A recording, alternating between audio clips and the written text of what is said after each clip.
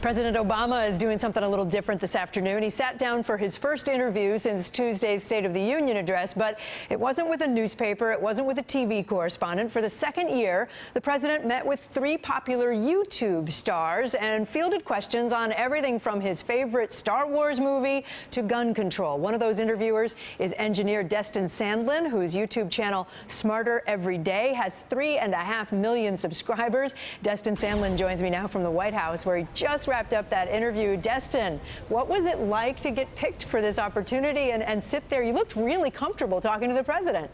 Oh, I mean, he's just a normal guy. He's uh, he's very warm and genuine. It was great, and I was uh, I was very honored to be given the opportunity.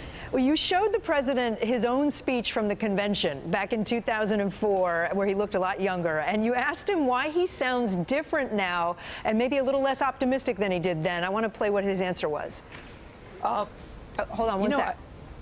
There's no doubt that since I gave that speech, you know, what we've seen in our politics is uh, other forces at work that push us apart. And I, as I said during my State of the Union, one of my biggest regrets is I haven't been able to uh, reflect here in Washington what I see every day when I travel around the country.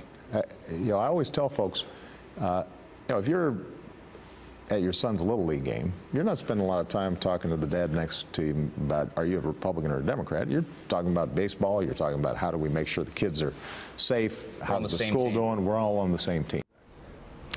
Destin, though, that was an interesting answer. I mean, he's he's admitting that that things are a, a little tough now.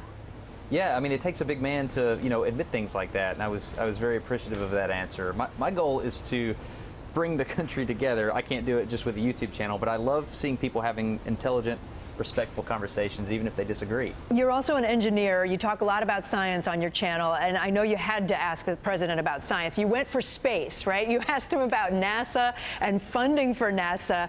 You almost got him to swear because he quoted the movie The Martian. Yeah, I, I love space. My grandfather actually was a draftsman for the Apollo program.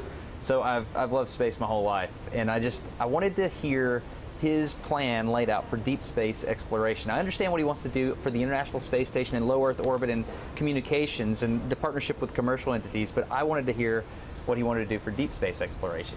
Well, and we will link to the whole interview. Uh, I'll put it up on my Twitter page, which is, which is TV Kate Snow. And where can we find it? On your YouTube channel, right? Uh, well, it's actually on the White House's YouTube channel, okay. youtube.com slash White House. There we go. Uh, Destin, thanks for being with us. Nice to see you.